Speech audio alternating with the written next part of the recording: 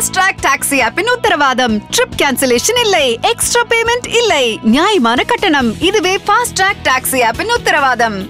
ஏழு தலைமுறைகள் பாரம்பரியமிக்க ஒரே சித்த மருத்துவ ஸ்தாபனம் சேலம் சிவராஜ் சித்த வைத்தியசாலை. இப்பொழுது சேலம் ஈரோடு சென்னை ஹொசூர் திருப்பத்தூரில் தினசரி மருத்துவரை சந்திக்கலாம். தொடர்புக்கு nine eight four two seven double two five double zero. தினம்தோறும் விளக்கேற்ற நல்ல எண்ணெய் இதயம் நல்லெண்ணெய்.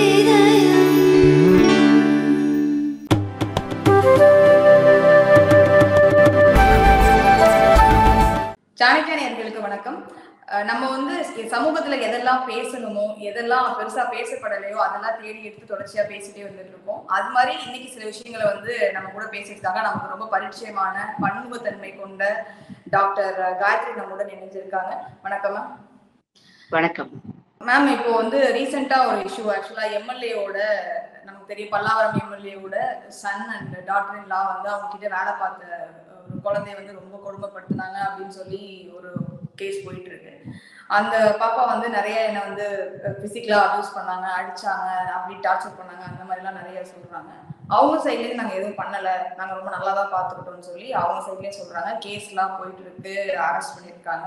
இது எல்லாமே நடந்துட்டு இருக்கு. பட் நம்ம வந்து பார்க்கும்போதே தெரியுது அந்த பொண்ணுக்கு நிறைய காயங்கள்லாம் ஏற்பட்டிருக்கு அப்படின்னு சொல்லி. எல்லாருமே ரொம்ப ஓப்பனாவே சொல்றாங்க. அது கண்டிப்பா நடந்திருக்கு அப்படின்ற சென்ஸ்லேயே சொல்றாங்க.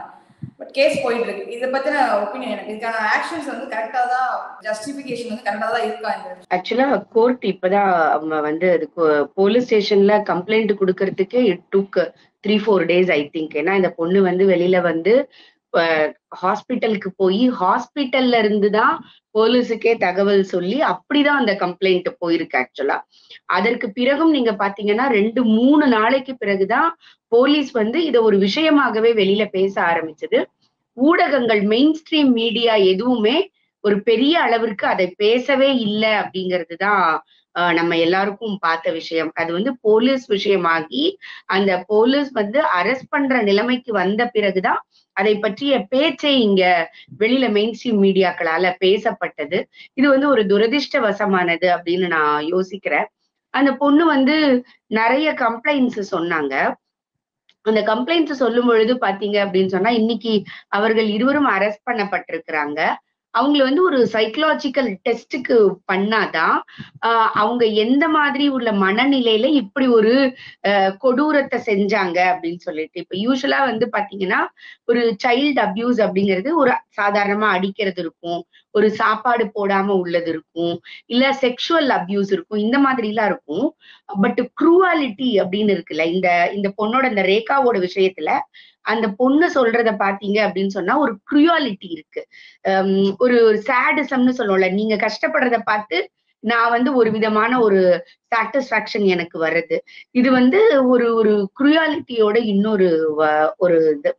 ஆக்சுவலா வந்து இந்த மாதிரி இந்த சிகரெட்ல சூடு வைக்கிறது ஆஹ் வந்து கார பொடிய வந்து அதாவது மிளகாத்தூளை கரைச்சு குடின்னு சொல்றது ஆஹ் ட்ரெஸ் இல்லாம வந்து அடிக்கணும் அந்த ஒரு நாள் முழுக்க கரண்டிய வச்சு அடிச்சாங்கன்னு அந்த பொண்ணு சொல்றது இதெல்லாம் உண்மையாக இருக்கும் பட்சத்தில்.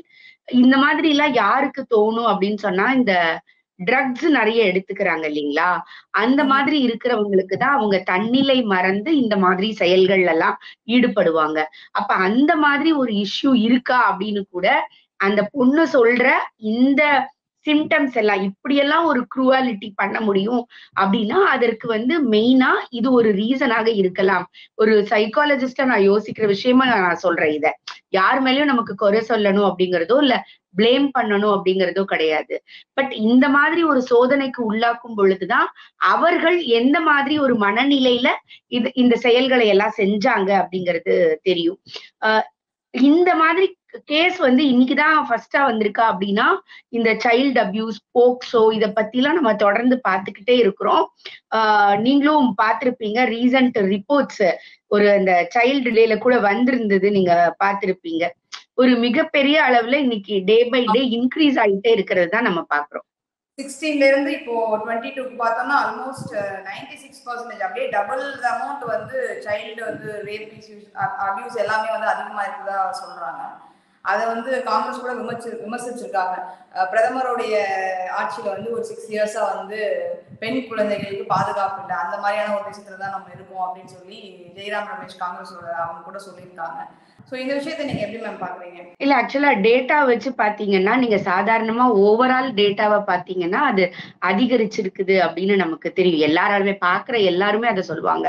பட் நீங்க ஸ்டேட் வைஸ் பாத்தீங்கன்னா எந்த ஸ்டேட் அதிகரிச்சிருக்குது எந்த ஸ்டேட் கம்மியா இருக்குது கம்மியாகிற விகிதம் எங்க அதிகமா இருக்குது? இப்போ வந்து ஒரு நூறுல இருந்து ஐம்பதுக்கு வந்தா ஒரு டிராஸ்டிக்கா குறையுது. அப்ப அங்க வந்து ஒரு லா அண்ட் ஆர்டர் ரொம்ப ஸ்ட்ரிக்டா ஃபாலோ பண்றாங்க அப்படின்னு நம்மளால யோசிக்க முடியும் இல்லையா? அவர் சொன்னதுக்காக நான் சொல்லல. நீங்க டேட்டாவை பாத்தீங்கன்னா தெரியும். மெட்ரோபாலிட்டன் சிட்டிஸ் அப்படின்னு நீங்க எடுத்துக்கிட்டீங்க அப்படின்னா ஹையஸ்டா வந்து கிரைம் ரேட் இருக்கிறது அப்படிங்கிறது வந்து அஹ், டெல்லி தான் எல்லாத்துலயுமே அது ஒரு சைல்டு அபியூஸா இருக்கட்டும் இல்ல வந்து அஃபெண்டர்ஸ் ரிலேஷன்ஷிப்பா இருக்கட்டும் எல்லாமே ஒரு வல்னரபிலிட்டி ஜாஸ்தியா இருக்கிறது வந்து டெல்லி அப்படின்னு சொல்ல முடியும். டெல்லிக்கு அடுத்தது வந்து மெட்ரோபாலிட்டன் சிட்டில மும்பை எடுத்துக்கலாம் பெங்களூர் எடுத்துக்கலாம். நமக்கு அதுக்கு அடுத்தாற் போல நீங்க எடுத்துக்கிட்டீங்கன்னா நமக்கு தமிழ்நாடுல ஃபோர்த் ஃபிஃப்த் பிளேஸ் கிட்டக்க நம்ம வரோம் ஆனால் இவங்க எல்லாரும் எப்போதும் சொல்லுவாங்கல்ல யூபிய பாரு பீகார பாரு அப்படின்னு சொல்லுவாங்கல்ல. அங்க வந்து சிட்டியில மெட்ரோபாலிட்டன் சிட்டியில நடக்கக்கூடிய இந்த சைல்டு ரிலேட்டட் இஷ்யூஸ் வந்து ஒரு மிகப்பெரிய அளவிற்கு டிராஸ்டிக்கா குறைஞ்சிருக்கு அப்படிங்கிறத பாக்குறோம். ஒரு சின்ன இது சொல்றேன் பாரு ஒரு ஒரே ஒரு டேட்டா நீங்க வந்து யூபி எடுத்துக்கிட்டீங்கன்னா இருபத்தி ஒண்ணுல ரெண்டாயிரத்தி இருபத்தி ஒண்ணுல அறுநூத்தி முப்பத்தி மூணு கேஸ் ஃபைல் ஆகி இந்த சைல்டு அபியூஸ் இஷ்யூஸ் வந்து மெட்ரோபாலிட்டன் சிட்டில ரெக்கார்ட் ஆயிருக்குது. டுவெண்ட்டி டூல நீங்க பாத்தீங்கன்னா த்ரீ நைன்டி எயிட் அப்படியே ஒரு ஹாஃப் ஆஃப் த அமௌண்ட் உங்களுக்கு குறையறது உங்களுக்கு தெரியும். இன்க்ரீஸ் ஆயிட்டு ஓவராலா இன்க்ரீஸ் ஆயிட்டு இருக்கு. பட் ஒரு ஒரு ஸ்டேட் வைஸ் நீங்க பாத்தீங்கன்னா கம்மியா இருக்கிறது நமக்கு தெரியும். அதே இது தமிழ்நாட்டுல பாத்தீங்கன்னா டுவெண்ட்டி ஒன்ல ஃபைவ் ஃபார்ட்டி சிக்ஸ் டுவெண்ட்டி டூல ஃபைவ் ஃபோர்டீன் இங்கேயும் குறைஞ்சிருக்கு. ஆனா அந்த குறையறதோட ரேட்டு பாருங்க எப்படி இருக்குதுன்னா. ஐநூத்தி நாற்பத்தாறுல இருந்து பதினாலு அறுநூத்தி முப்பத்தி மூணுல இருந்து முன்னூத்தி தொண்ணூத்தி எட்டு அப்படியே ஒரு குறையறது. அப்போ எங்க குறையுது? எங்க அதிகரிக்குது? அப்படின்னு நமக்கு பார்த்தா தெரியும். சைல்டு கிரைம் நீங்க எடுத்துக்கிட்டா கூட அஹ், ராஜஸ்தான்ல இருக்கட்டும் யூபி மத்திய பிரதேஷ் மகாராஷ்டிரா இதெல்லாம் போக பீகாருக்கு அடுத்தது தமிழ்நாடு. நம்ம அஞ்சாவது இடத்துல ஆறாவது இடத்துல நம்ம இருக்கிறோம். ஆனா இந்த ரேட்டை நீங்க பாத்தீங்க அப்படின்னா மத்திய பிரதேஷ்க்கு அப்புறம் தமிழ்நாடுல இந்த சைல்டு கிரைம் ரேட் வந்து அதிகமா இருக்குது. மத்திய பிரதேஷ் ஃபர்ஸ்ட் இருக்காங்க. அதாவது அதிகரிக்கிற விகிதத்துல சைல்டு கிரைம்ல நீங்க பாத்தீங்கன்னா சோ மத்திய பிரதேசத்துக்கு அப்புறம் நம்ம தமிழ்நாடு இருக்கு. அப்போ இங்கெல்லாம் யாரு ரூல் பண்ணிட்டு இருந்தாங்க? For the past five years இப்போ இந்த கடந்த ரெண்டு மூணு வருஷம் அப்படின்னு நீங்க எடுத்துக்கிட்டீங்க அப்படின்னு சொன்னா இந்த ஏழு வருஷங்கள்ல யாரு என்ன எப்படி நடக்குது அப்படிங்கறத வச்சு நமக்கு தெரியும். மேம் இப்போ அந்த சிஆர்ஒய் அந்த என்ஜிஓ தான் இது பண்ணாங்க. அந்த ரிப்போர்ட்ல வந்து என்ன ஒரு விஷயம் என்ன சொல்றாங்க அப்படின்னா ஆஹ் இந்த விஷயங்கள்லாம் வந்து கம்ப்ளைண்ட் அதிகமா இப்ப ரெஜிஸ்டர் ஆகுது. அதனால தான் கவுண்ட் அதிகமா தெரியுற மாதிரி இருக்கு உங்களுக்கு அப்படின்றாங்க. அப்போ அப்படி அப்படி பார்த்தோம்னா நம்ம ரீஜன்ல வந்து கம்ப்ளைண்ட்ஸ் அதிகமா ரெஜிஸ்டர் ஆகுற அதுவா கூட இருக்கலாம் இல்லையா? ஒரு விஷயம் நடக்காம எப்படி அது ரெஜிஸ்டர் ஆகும்? யோசிச்சு பாருங்க. இன்னைக்கு கண்டிப்பா விழிப்புணர்வு வந்திருக்குது. யாருமே மறுக்கிறதுக்கு இல்ல. அப்படி விழிப்புணர்வு வர்றதுனாலதான் நமக்கு ரெஜிஸ்ட்ரேஷன் அதிகமாகுதுன்னு நம்ம சொல்றோம். ஆனால் ஒரு விஷயம் நடக்காம எப்படி ரெஜிஸ்ட்ரேஷன் ஆகும்? அப்ப நிறைய அளவுக்கு நடக்கிறதுனாலயே தானே அது ரெஜிஸ்டர் பண்ணப்படுது. ஆஹ் நீங்க யோசிச்சு பாருங்களேன். ஒரு அதாவது சொல் ஊர்ல சொல்லுவாங்கல்ல நெருப்பு இல்லாம புகையாது அப்படின்னு சொல்லுவாங்க. ஏன் ரெஜிஸ்டர் ஆகுது? நிறைய நடக்குது அதனால ரெஜிஸ்டர் ஆகுது. நம்ம பாக்குறோம். தொடர்ந்து இங்க நடக்கக்கூடிய இதே சென்னையில தான் நீங்க பாத்திருப்பீங்க ஒரு குழந்தைய அபார்ட்மெண்ட்ல பக்கத்து வீட்டு பையன் வந்து அபியூஸ் பண்ணி எரிச்சு சூட்கேஸ்ல போட்டு கொண்டு போய் வச்சதை நம்ம பாக்குறோம். இதுல இன்னும் வருந்தத்திற்குரிய விஷயம் என்ன அப்படின்னு சொன்னா இந்த குழந்தைங்களுடைய இந்த அபியூஸ்மெண்ட் இருக்குல்ல இது வந்து அன்னோன் பர்சனால நிறைய நடக்குதா நோன் பர்சனால நிறைய நடக்குதா அப்படின்னு சொன்னா நிறைய வந்து நோன் பர்சனால தான் நடக்குது. அதாவது ஒரு அன்னோன் பர்சன் எங்க இருந்தோ வந்து குழந்தைய கடத்திட்டு வந்து இது நடக்குது அப்படிங்கிறது இல்லாம இங்கதான் வந்து ஃபேமிலி அண்ட் ஃப்ரெண்ட்ஸ் மூலமாக தெரிஞ்ச இடங்கள் மூலமாக இன்ஃபேக்ட் சொல்ல போனா அந்த டேட்டா என்ன சொல்லுதுன்னா பீகார் உத்தரப்பிரதேசத்தை விட தமிழ்நாட்டுல நடக்கிற கிரைம்ல ஃபேமிலி ஃப்ரெண்ட்ஸ் ரிலேஷன்ஸ் மூலமாக நடக்கக்கூடிய அபியூஸ் ஜாஸ்தியா இருக்கு. அப்படின்னு தெரியுது. நோன் பர்சன் மூலமாக தேன் அன்னோன் பர்சன் இப்ப நீங்க டெல்லி மாதிரி இடங்கள் எடுத்துக்கிட்டீங்க அப்படின்னு சொன்னா அன்னோன் பர்சன் மூலமாக நடக்கிறது அதிகமா இருக்குது. ஆனால் தமிழ்நாடு மாதிரி இடத்துல நம்ம எங்க வந்து சமூக நீதி பேசுறோம் உறவுகளுக்கு இம்பார்ட்டன்ட் கொடுக்குறோம் உணர்வுகளுக்கு இம்பார்ட்டன்ட் கொடுக்குறோம் அப்படிலாம் நம்ம சொல்றோம் இல்லையா? ஆனால் ஒரு பேத்தட்டிக் ட்ரூத் என்ன அப்படின்னு சொன்னா இங்கதான் ஃப்ரெண்ட்ஸ் அண்ட் ரிலேஷன்ஸ் மூலமாக நடக்கக்கூடிய சைல்டு கிரைம் அண்ட் அபியூஸ் ஜாஸ்தியா இருக்குது அப்படின்னு அந்த டுவெண்ட்டி டூவோட என்சிஆர்பி டேட்டா சொல்லுது. இதுதான் நம்ம பார்க்க வேண்டிய விஷயம். அதிகமாக நடக்குது. அதிகமாக யாருக்குள்ள நடக்குது? ஃப்ரெண்ட்ஸ் அண்ட் ஃபேமிலிக்குள்ள நடக்குது. அதனால இது ஒரு மிகப்பெரிய கல்ச்சரல் ஷாக் இல்லையா? யார நம்புவோம்? அந்த நம்பிக்கைக்குரியவங்களே நம்மளுடைய நம்பிக்கைக்கு இல்லாம சொந்த குழந்தையா பார்க்க வேண்டியவங்க இந்த மாதிரி நடக்கிறது வந்து ஒரு மிகப்பெரிய அதிர்ச்சி. ஸோ அப்படி பார்த்தோம் அப்படின்னா இப்போ நிறைய கேசஸ் குறிப்பாக வந்து பார்த்தோம் அப்படின்னா ஸ்கெடியூல்டு ஸ்கெடியூல்டு கேஸ்டில் இருக்கக்கூடிய வர கேசஸ்லாம் வந்து பெருசாக மூவ் ஆக மாட்டேங்குது. எல்லாமே போலீஸ் ஸ்டேஷன்லயே வச்சு பஞ்சாயத்து பண்ணி அனுப்பிச்சிடுறாங்க. அது வந்து ஒரு கேஸாக கூட பதிய விட மாட்டாங்க அப்படி சொல்லி நிறைய கிளைம் வருது. குறிப்பா இந்த பா- இந்த எம்எல்ஏ அந்த டாக்டர்ல அந்த கேஸ்ல கூட பார்த்தோம் அப்படின்னா இனிஷியலா வந்து இதை செட்டில் பண்ணதான் பார்த்தாங்க பேசி இது பண்ணதா பார்த்தாங்க. அதுக்கப்புறம் தான் இது வந்து எல்லாரும் சோஷியல் மீடியால பேசி பேசி தான் வந்து இது வெளியில வந்துச்சுன்னு சொல்றாங்க. குறிப்பா நான் வந்து கேஸ்டிசமா நான் அந்த அந்த சென்ஸ்ல நான் சொல்லல. பட் இதுதான் ரியாலிட்டியா இருக்கு. ஒரு ஒரு எஸ்சி எஸ்டிஸ் மேல வர நடக்கக்கூடிய வன்முறைகளுக்கு ரொம்ப ஸ்லோவான ரெஸ்பான்ஸா இருக்கும் அப்படின்னு எனக்கு ஒரு கேள்வி வருது. ஏன்னா இப்போ வேங்கவே கூட ஜட்ஜி கேக்குறாங்க இன்னும் எத்தனை நாள் நீங்க விசாரிச்சுட்டே இருப்பீங்கன்னு சொல்லி நேத்து கேக்குறாங்க. ஸோ இந்த மாதிரி ஒரு சுச்சுவேஷன் ஏன் அந்த சமூகத்துக்கு மட்டும் அப்படி நடக்குதுன்னு நீங்க நினைக்கிறீங்க மேம் இல்ல அது அந்த சமூகத்துக்கு மட்டும் அப்படின்னு நம்ம பிரிச்சு பார்க்க முடியாது.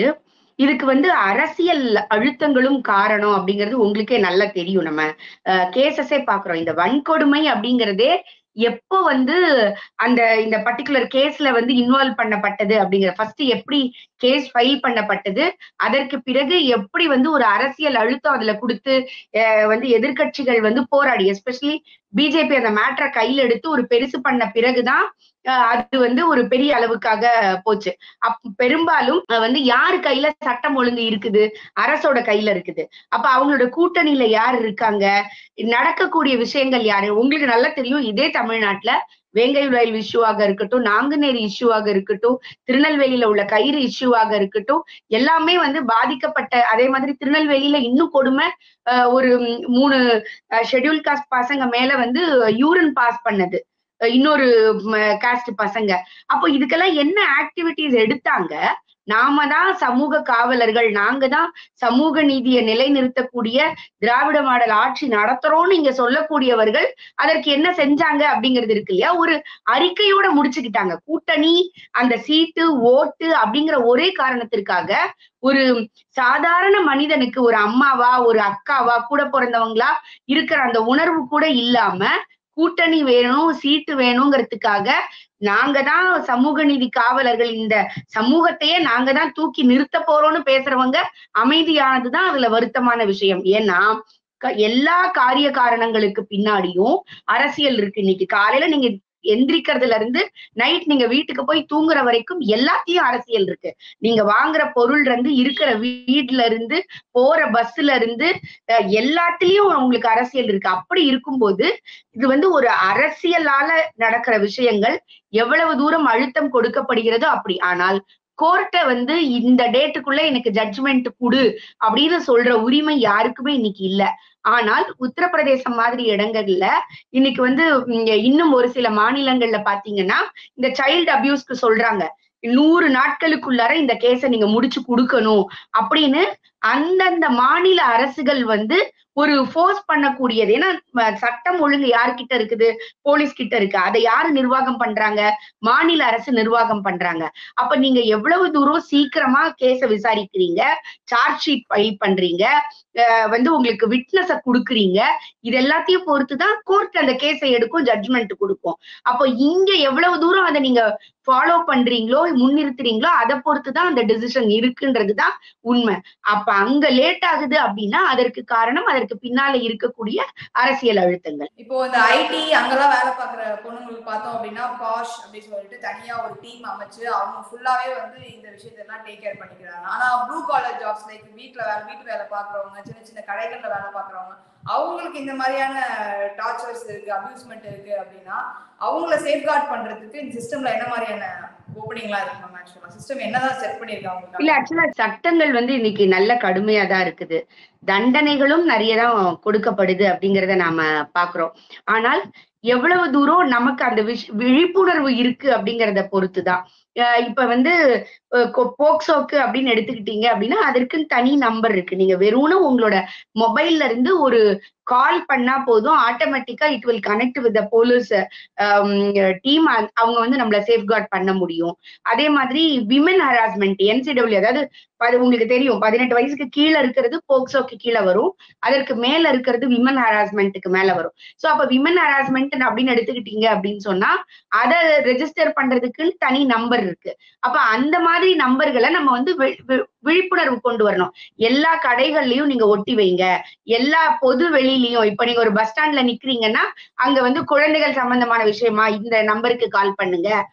வந்து ஒரு விமன் ஹராஸ்மெண்டா இந்த நம்பருக்கு கால் பண்ணுங்க. நீங்க காலேஜஸ்ல எல்லாம் நாங்க சொல்றோம். ரேகிங்கா உங்களுக்கு இமீடியட்டா இந்த நம்பருக்கு கால் பண்ணுங்க அப்படின்னு சொல்லி கண்டிப்பாக ஒவ்வொரு ஃப்ளோர்லயும் ஒவ்வொரு கிளாஸுக்கு வெளியிலயும் அந்த ஸ்டிக்கரா ப்ரிப்பேர் பண்ணி ஒட்டி வைக்கணும். இது வந்து காலேஜோட நார்ம்ஸ் அப்ப இதே மாதிரி வேலைய வேலையாளர் இந்த- மாதிரி காமனா நம்ம அன்ஆர்கனைஸ்டு செக்டார்ஸ் இருக்காங்க இல்லையா?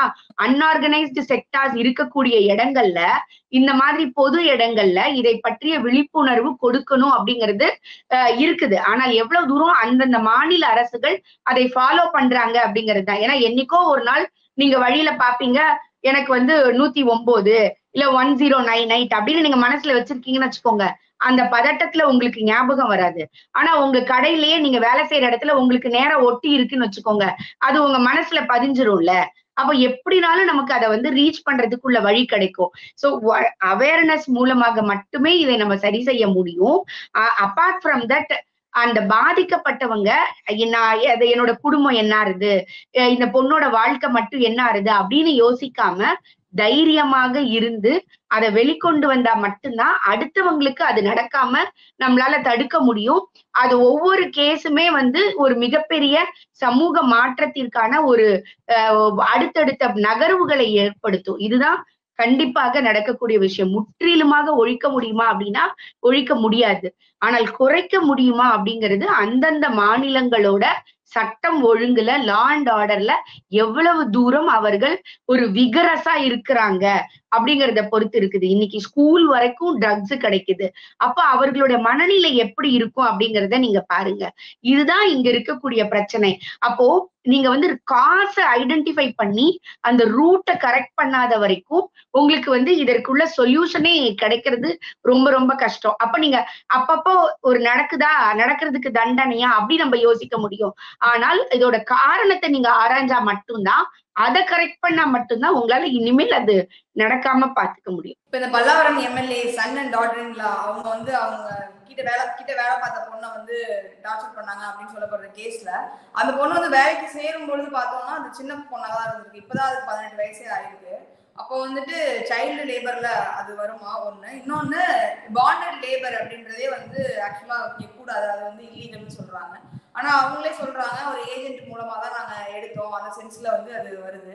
ஸோ இவங்க வந்து அபியூஸ் பண்ணாங்க பண்ணலன்றது இன்னும் வந்து ப்ரூவ் ஆகல. பட் ஆனா இது ரெண்டுக்கும் அவங்க மேல என்ன மாதிரியான ஆக்ஷன்ஸ் நம்ம எடுப்பாங்க?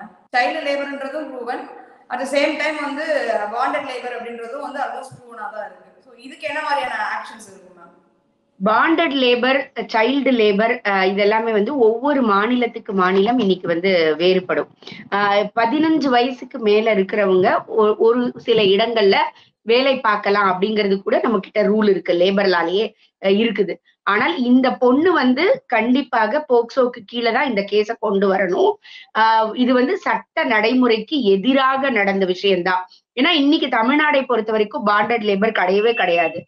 அப்படி இருக்கும்போது இவங்க எப்படி எடுத்துட்டு வந்தாங்க? எஸ்பெஷலி ஒரு எம்எல்ஏ மாதிரி அரசியல்ல அரசியல் மட்டுமல்ல ஒரு சட்டமன்றத்துக்கு போகக்கூடிய அரசு ஒரு இடங்கள்ல இருக்கக்கூடியவங்க கூட இந்த மாதிரி தவற செய்யறாங்க அப்படின்னு சொன்னா அவர் எனக்கும் என் பையனுக்கும் வந்து சம்பந்தமே கிடையாது. அப்படிலாம் சொல்லி தப்பிக்கிறதுக்கு வந்து வாய் வார்த்தையா பேசுறா எல்லாருக்குமே தெரியும். அப்ப இன்னும் அவங்க டபுள் கேர்ஃபுல்லா இருக்கணும் அப்படிதான் நான் சொல்லுவேன். அஹ் ஏன்னா ஒரு சமுதாயத்தில் அறியப்படக்கூடிய நபர்கள் என்ன மாதிரி தவறு செய்யறாங்க அப்படிங்கறதே வந்து ஒரு மிகப்பெரிய சமூகத்திலுடைய ஒரு எக்ஸம்ஷனா நம்ம எடுத்துக்க முடியாது. அததான் வந்து ஒரு வழிகாட்டியா எடுத்துக்க முடியும். அப்ப நாளைக்கு இன்னொரு தப்பு நடக்கும்போது எம்எல்ஏ வீட்லயே அப்படிதான் இருந்தது. அவங்க வீட்லயே இப்படிதான் வச்சிருக்கிறாங்க. அப்படிலாம் ஒரு பேச்சு வரதுக்குரிய வாய்ப்புகள் இருக்கும். சோ கண்டிப்பாக இதுக்கு வந்து இந்த லேபர் அவங்க எந்த ஏஜென்ட் மூலமாக போனாங்களோ அவர்களும் தண்டிக்கப்படக்கூடியவர்கள். இந்த பாண்டட் லேபராக அப்பார்ட் ஃப்ரம் இந்த போக்சோக்கு கீழே இல்லாமல் கூட அந்த பதினெட்டு வயதுக்கு கீழே இருக்கக்கூடியவர்களை பணிக்கு அமர்த்திய அந்த ஒரு பனிஷ்மெண்ட்டும் அவங்களுக்கு கிடைக்கும். சோ இம்ப்ரிசன்மெண்ட்ல இயர்ஸ் வந்து எக்ஸீட் ஆகிறதுக்குரிய வாய்ப்புகள் இருக்கு. அப்பார்ட் ஃப்ரம் போக்சோ இந்த இதன் மூலமாகவும் உள்ள வாய்ப்புகள் அதிகமாக இருக்குன்னு வச்சுக்கோங்களேன். நிறைய விஷயங்கள் பகிர்ந்துட்டீங்க மேம் ரொம்ப தேங்க்ஸ் மேம் நன்றி.